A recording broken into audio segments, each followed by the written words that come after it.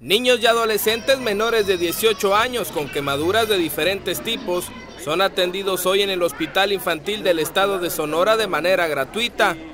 Alberto Barreda Robinson, presidente del patronato Shriners en Sonora, informó que los menores serán valorados por un grupo de 15 especialistas del Hospital Shriners de Sacramento. Eh, hay, hay, mucha gente que la han atendido fuera de los hospitales Shriners, que tienen pues tienen problemas de impedimentos físicos que le quedaron secuelas de quemaduras eh, y fueron atendidos eh, y ahí quedaron, nada más les salvaron la vida y quedaron con cicatrices.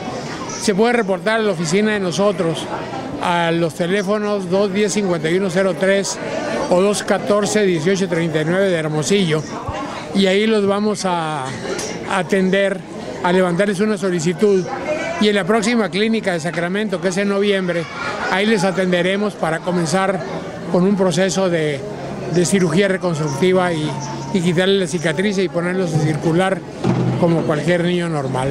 Explicó que había 80 niños citados, pero el servicio estaba abierto para otros niños con secuelas de quemaduras que hasta ahora no hayan sido atendidos por Shriners. De esta valoración se determinará quiénes requieren acudir a Sacramento a practicarse cirugías.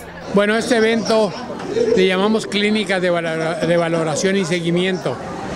Tenemos cinco clínicas de este tipo al año aquí en el Hospital Infantil del Estado. El objetivo es, eh, primero, eh, hoy es de Sacramento, del Hospital Rainer de Sacramento. El objetivo es que los niños que ya fueron atendidos por quemaduras graves en Sacramento ahora sean revisados por estos médicos y se les dé turno para hacerles cirugías reconstructivas en, el Hospital de Sacramento. Entonces son niños que tienen 2, 3 años y los vamos a atender hasta que tengan 18 años, ¿no? A dejarlos lo mejor que se pueda, porque siempre en una quemadura le van a quedar cicatrices, pero vamos a procurar que sea lo menos posible. Es cirugía reconstructiva la que hacemos.